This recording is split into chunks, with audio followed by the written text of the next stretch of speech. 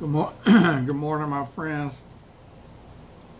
Hey, everything that could go wrong is going wrong. I'm going to give you a little bit of redneck rant, and I'm going to read two chapters from the book of Second Chronicles, and I'm going to take a wee break and come back and give you another chapter or two. I'm having a big problem breathing, y'all. A big problem. I can't do anything without getting out of breath. I mean, walking from here to the sink or from here to the bathroom just wears me out. And I need to walk. I need to be walking a whole lot more than that. This congestive heart failure is not fun. And it takes your breath away. I, I don't understand it. You know, the doctor explained it to me two times and I still don't understand it. There's a valve in my heart that's not opening and closing right, which I've known for years. Doctors back in Texas diagnosed that a year or two before I left Texas and I've been gone from Texas almost two years, so it's been a while. but at the time it was not serious.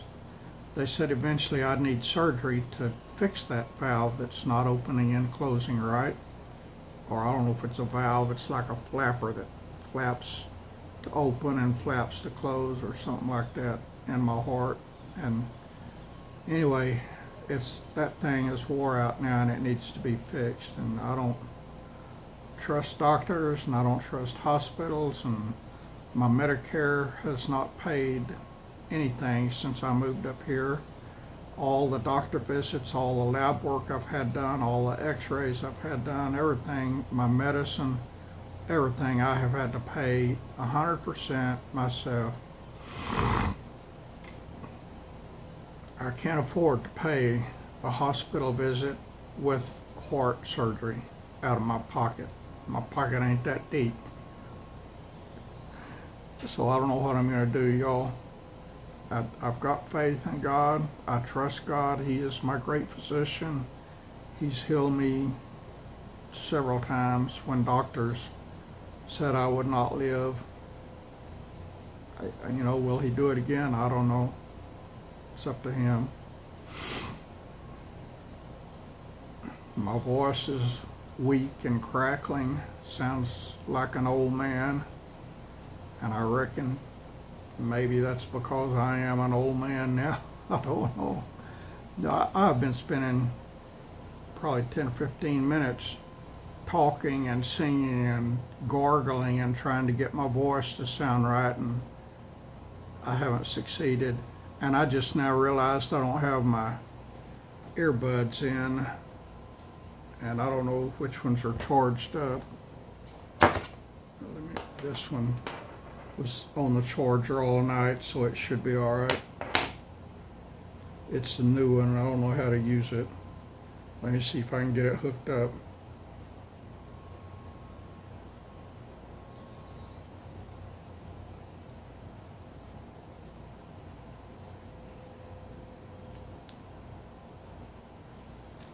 All right, it says it's connected. I'm gonna trust it. Usually I test it to make sure it's connected, but I've already given you four minutes, looks like. Yeah, four minutes of redneck rant, so I'm not going to start over. Yesterday, out of the blue, my realtor that I picked when I was still living in Texas to help me with the procurement of this house and she did an excellent job and I loved her help and she and I had become good friends. When I got ready to sell it, I called her and got the house listed with her.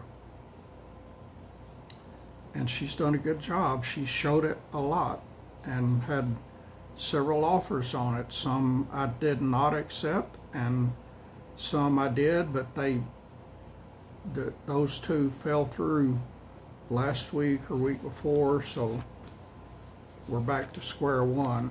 anyway, she sent me several texts yesterday and she doesn't want to represent me anymore. So the listing with her is about to end prematurely. And so I don't know what I'm going to do. There's there's a realtor here locally. She's not local. She's an hour away, and she could not list my house with the MLS multiple listing service here because the company she works for is not a member of the MLS here and they didn't want to join the MLS here even though it would do them a lot of good because the MLS here is big. There's a lot of well-to-do buyers in this area. But anyway, there there's a realtor the the first realtor that showed my house after we listed it is from the big town just south of me where I do all my shopping because there ain't diddly in this town hardly and she wanted to list my house and so I'll probably go with her. She wants to come by tomorrow Monday and take pictures and dimensions and everything for the listing. And I told her okay. I told her I said I don't want to list it right now. I said I need to take a break because of my congestive heart failure. I just need a break. Because they were wearing me out. I I can't find a housekeeper I can't find a yard man I can't find any help nobody here wants to work that means I got to do it all myself oh, and my realtor that had it listed, the the one that was a friend, when I proposed it to her, you know, I said I want to sell it fully furnished.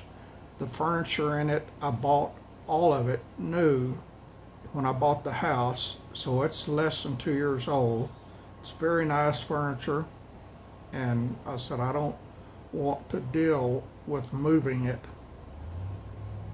there are six or seven or eight storage companies here in town in this little tiny town. They got more storage businesses than any other kind of business, but they're all full. They have no vacancies.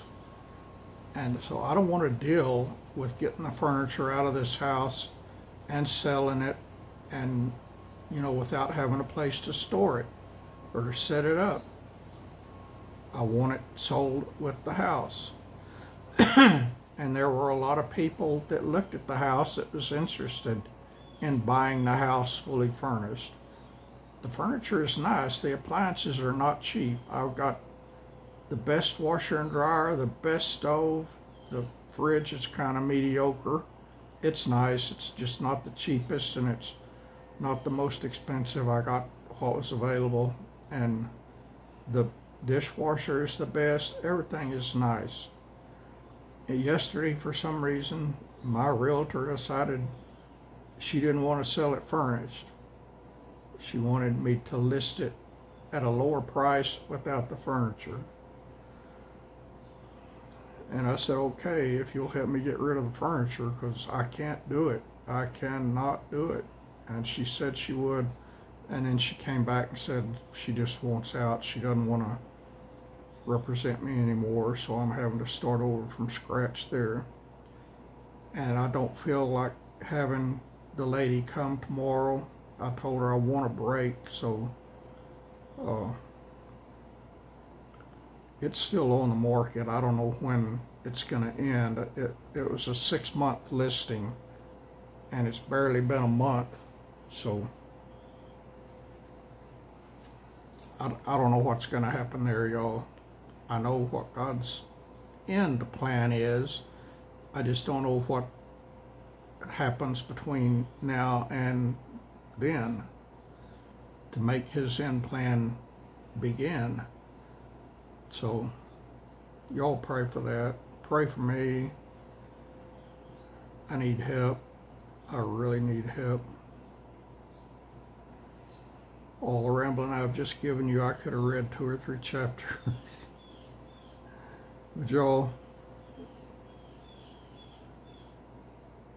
And I got a problem. You know, I've got my old phone. My old phone is right here.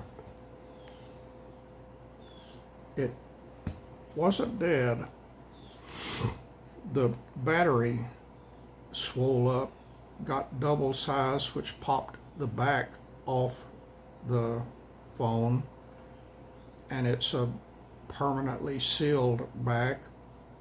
When the back comes off, that means it's time to get a new phone, according to AT&T back in Texas and AT&T here in Kansas.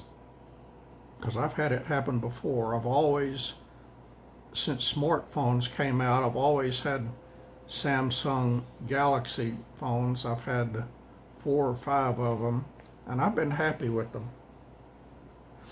But after a year and a half or two years, their battery gets hot and expands to the point it pops the back off the phones and then they're no good. And but I noticed this morning my old phone was still working and I oh, turned it on and was looking through it and when I bought this phone that I'm talking to you on now, they were supposed to have transferred all everything, all the data from my old phone to the new phone, but they didn't. It was a young guy. He was the only employee in the AT&T store. And I was there for four hours because he had to wait on all the customers that came in. and I just had to wait and wait and wait and wait and wait and wait. But finally he finished and said that he did successfully transfer all the data over and it appeared that he had until I turned my old phone on and found out he hadn't. And I don't know if it's him or I don't know what happened, but I have a calendar on my old phone and the new phone has the same calendar, same app, but it didn't transfer all. I had all my friends' birthdays and anniversaries and things like that stored on that calendar, and I like it because I like to tell my friends happy birthday on their birthday, and some of them that lives overseas or far away, I have a reminder for a couple of weeks in advance to remind me that their birthday's coming up so I'll have time to get a birthday card and mail it to them so they'll have it on their birthday. And it, it that data did not transfer to my new phone. So I did it manually that took a while but I got it done uh, Anyway, let me start reading here, y'all. Last night, I, I did some laundry yesterday. I've got a ton of laundry to do. I did some yesterday. And the last thing I did yesterday was the bed sheets. And y'all, I've got three sets of bed sheets. Back in Texas, after Hurricane Harvey, when I bought that RV and lived in the RV, I had one set of bed sheets. I would take them off the bed, wash them, dry them, put them back on the bed, and it worked. It's not a problem. Up here, I've got three sets somewhere. I took the set of sheets off the bed that had been on there a couple of weeks and washed them, but I couldn't find, I cannot, I still have not found the other two sets of sheets. I've done a lot of moving stuff around since I listed the house because I don't want stuff laying out in the open. You know, I want everything put up in a place. And I do not know where I put the sheets. I had the sheets folded and laying on top of my clothes dryer. Well, for prospective home buyers coming through the house, I didn't want them to see the sheets laying on top of the dryer. So I put them up somewhere, and I I don't know where. And all of my pillowcases, I haven't had a pillowcase on my pillow in two or three weeks because I don't know where I put them. So anyway, I I didn't want to sleep on the naked bed last night. And I didn't have the strength or energy to put the sheets back on the bed that I had washed yesterday evening. So I slept sitting right here at my table. And y'all, my back is extremely angry at me today. I slept good. I slept real good. I, I feel rested. I feel energetic. I just can't walk because of my back problems, my leg problems, and the congestive heart failure. But I feel good. But my back is screaming with pain. It is very angry that I sat here at the table all night sleeping. It needs to lay down and stretch out. And y'all, that bed I've got is a nice bed. It's it's nice. It was expensive. And I lay down on it and man, it's instant relief for my whole body. But I didn't lay down on it last night because there's no sheets on it. Anyway, let me let me stop my gabbing here and start reading. I got computer work to do. Kitty Callie's laying right here beside me on top of the computer. She's funny. I love that cat. Let me start reading, y'all. Chapter 30 of Second Chronicles.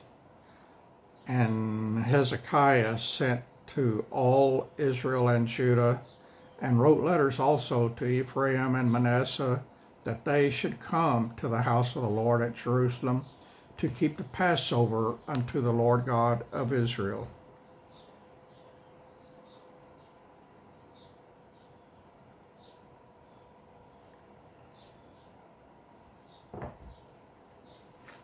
I, I love the love that a lot of people in the Bible had for others. Did you just hear what I read to you? Hezekiah sent to all Israel and Judah and wrote letters also to Ephraim and Manasseh that they should come to the house of the Lord at Jerusalem to keep the Passover unto the Lord God of Israel. How come we don't do stuff like that, friends? Do we not love people? Do we not have concern for people and their soul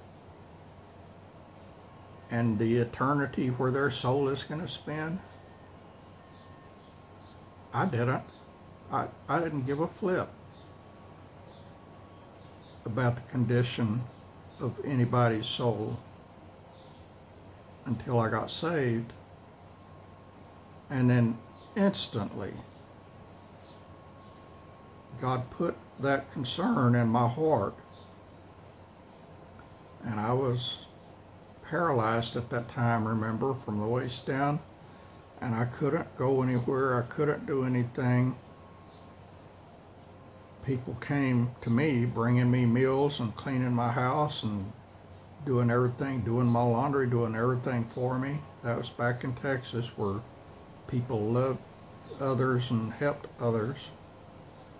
And then as soon as I could walk enough to drive and move my legs enough to work the pedals on the car,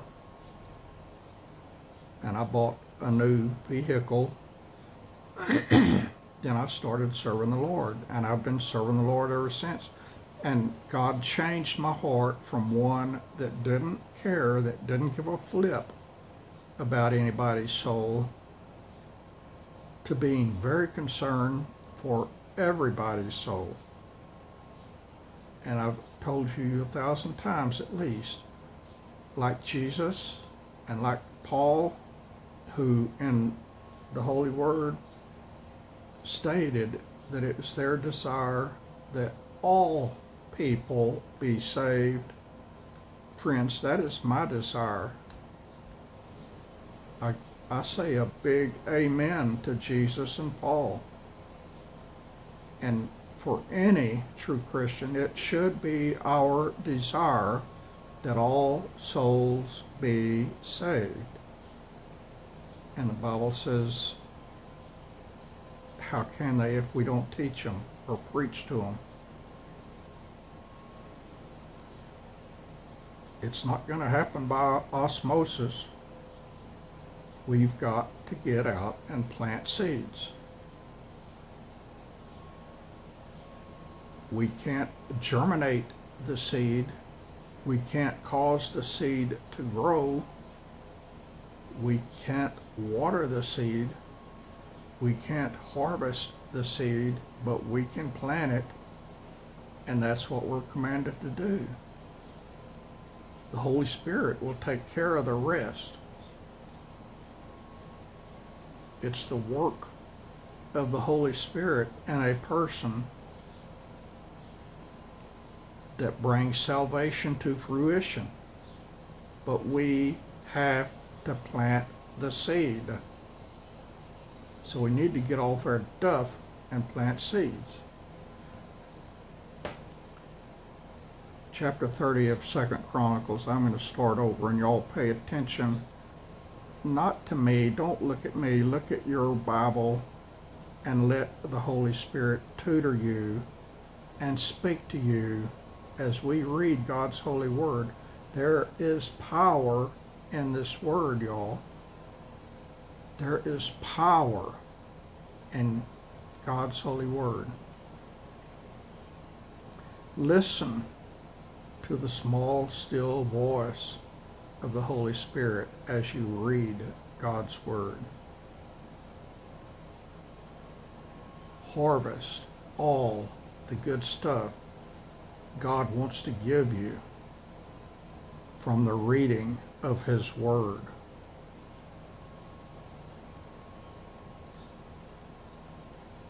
Chapter 30, verse 1 of Second Chronicles. and Hezekiah sent to all Israel and Judah, and wrote letters also to Ephraim and Manasseh, that they should come to the house of the Lord at Jerusalem to keep the Passover unto the Lord God of Israel. For the king had taken counsel and his princes and all the congregation in Jerusalem to keep the Passover in the second month, for they could not keep it at that time because the priests had not sanctified themselves sufficiently, neither had the people gathered themselves together to Jerusalem. And the thing pleased the king and all the congregation. So they established a decree to make proclamation throughout all Israel, from Beersheba even to Dan, that they should come to keep the Passover unto the Lord God of Israel at Jerusalem, for they had not done it of a long time in such sort as it was written. So the post went with the letters from the king, the post, he's talking about the letters. The British, I know, and probably other parts of Europe, refers to mail as posts. So the post went to the, with the letters from the king and his princes throughout all Israel and Judah, and according to the commandment of the king, saying, Ye children of Israel, turn again unto the Lord God of Abraham, Isaac, and Israel, that's Jacob, in case you don't remember. God renamed Jacob Israel. We, all true Christians, are descendants of Abraham Isaac and Jacob, or Israel, which is Jacob's God given name. And he will return to you, to, he will return to the remnant of you that are escaped out of the hand of the kings of Assyria. We do something, God commands, and he's going to finish it. But we've got to do what he commands first. And be ye not like your fathers and like your brethren which trespass against the Lord God of their fathers, who therefore gave them up to desolation as ye see. Now be ye not stiff necked as your fathers were, but yield yourselves unto the Lord and enter into his sanctuary, which he hath sanctified for ever, and serve the Lord your God, that the fierceness of his wrath may turn away from you. Bam, y'all. Are y'all listening? Is the ears of your heart listening? You need to tune your heart into God. Tune your heart into the Holy Spirit. And listen to his still small voice as we read. You, you want the fierceness of his wrath turned away from you. I guarantee you, you want that. And the few words just before that, it says, and serve the Lord your God. We, my friends, must be obedient to God. We may not want to serve the Lord. I didn't want to serve the Lord up here. I didn't. I didn't want to come here. But I came. And serving him here, I guarantee you, was 10 times more scary than when I served the Lord in the prison ministry with rapists, with child molesters, with murderers. That was scary, but it was not as scary as what I've experienced here. We got to be obedient to God's call whatever it is, wherever it is. For if you turn against again unto the Lord, your brethren and your children shall find compassion before them that led them captive. Are you hearing this? I want you to hear these words. I want your eyes to see these words. I want your heart to have these words penetrated into it so that it will change, so that you will produce fruits of righteousness. Verse 9 of chapter 30, 2 Chronicles, For if ye turn again unto the Lord, your brethren and your children shall find compassion before them that lead them captive bam, y'all, so that they shall come again into this land. For the Lord your God is gracious and merciful, and will not turn away his face from you if ye return unto him. And y'all excuse my voice. It sounds like a little girl today, and I don't know what's up with that. It, it doesn't sound serious, but it is very serious, no matter what it sounds like. Verse 10, So the post passed from city to city through the country of Ephraim and Manasseh, even unto Zebulun, but they laughed them to scorn and mocked them. Nevertheless, divers of Asher and Manasseh and of Zebulun humbled themselves and came to Jerusalem. Also in Judah, the hand of God was to give them one heart to do the commandment of the king and of the princes by the word of the Lord. And by the word of the Lord is the only way we should do anything, my friend. Verse 13, and they're assembled at Jerusalem much people to keep the feast of unleavened bread in the second month, a very great congregation. And they arose and took away the altars that were in Jerusalem, and all the altars for incense took they away and cast them in the brook Kidron. That's what we need to do in our lives, y'all. And I had all sorts of altars and false gods and junk, just pure junk in my mind and in my heart and in my life before God saved me. We need to get rid of all of that. God is a jealous God.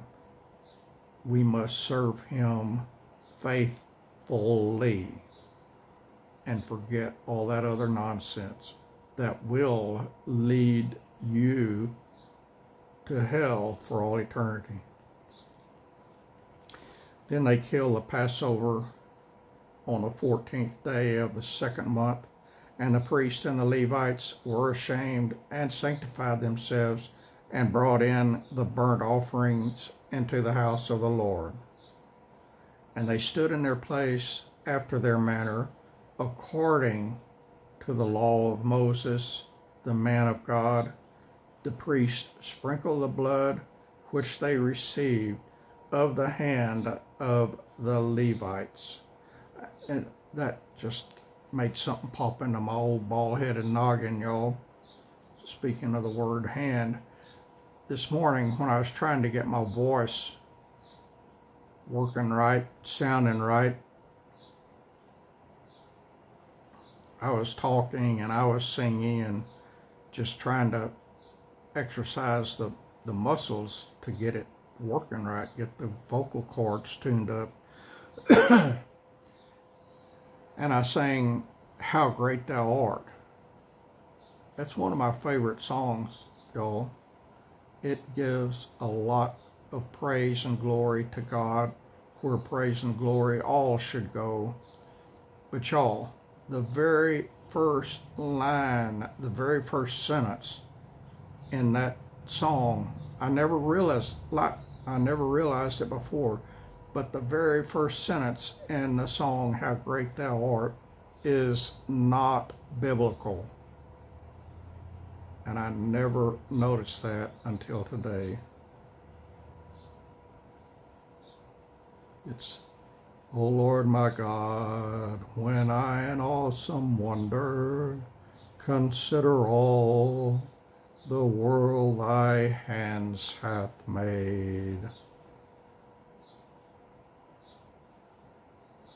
That's not biblical, friends.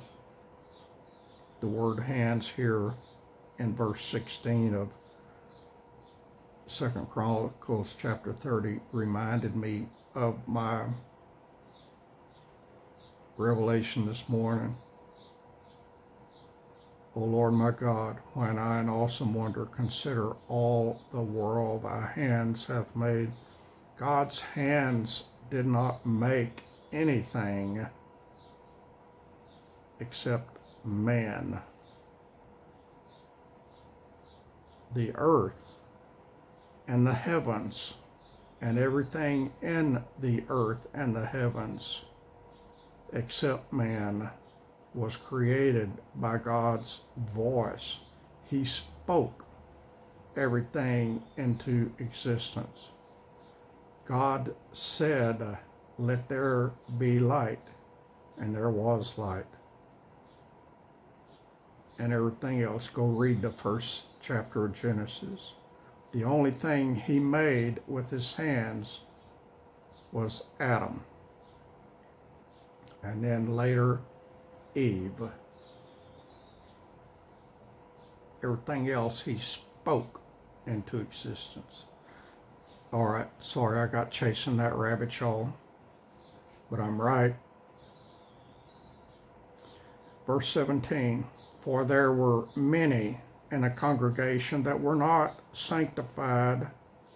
Therefore, the Levites had the charge of the killing of the Passovers for everyone that was not clean to sanctify them unto the Lord. For a multitude of the people, even many of Ephraim and Manasseh, Issachar, and Zebulun, had not cleansed themselves, yet did they eat the Passover otherwise than it was written. That's a no no. And before we eat the bread, the flesh, and the blood of Jesus at communion, we need to sanctify ourselves. We do not come to that dinner table as filthy rags. But Hezekiah prayed for them, saying, The good Lord pardon everyone that prepareth his heart to seek God, the Lord God of his fathers, though he be not cleansed according to the purification of the sanctuary. And the Lord hearkened to Hezekiah and healed the people. And the children of Israel that were present at Jerusalem kept the feast of unleavened bread seven days with great gladness. And the Levites and the priests praised the Lord day by day, singing with loud instruments unto the Lord.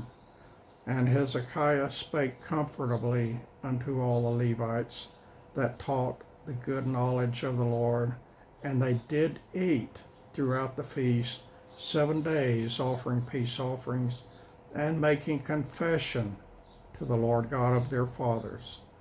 And the whole assembly took counsel to keep other seven days, and they kept other seven days with gladness. For Hezekiah, king of Judah, did give to the congregation a thousand bullocks and seven thousand sheep and the princes gave to the congregation a thousand bullocks and ten thousand sheep, and a great number of priests sanctified themselves.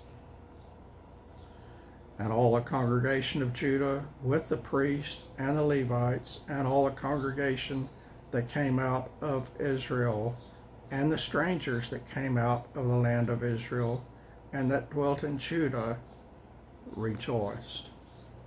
So there was great joy in Jerusalem, for since the time of Solomon and uh, for, for since the time of Solomon, the son of David, king of Israel, there was not the like in Jerusalem. Then the priests, the Levites, arose and blessed the people and their voice was heard, and their prayer came upon came up to his holy dwelling place, even unto heaven. And that should be the goal of us every time we pray. All right, that's the end of chapter 30. I said I was going to do 30 and 31, but I'm going to end it because we're already at 35 minutes because of all my rambling, but my rambling came from the Holy Spirit, most of it. The part about my house and my listing on my house and everything, that was from me. The rest of it's from the Holy Spirit. I'm going to end it here and I'll come back and do 31 and 32 separately without much redneck rambling. Love y'all, friends.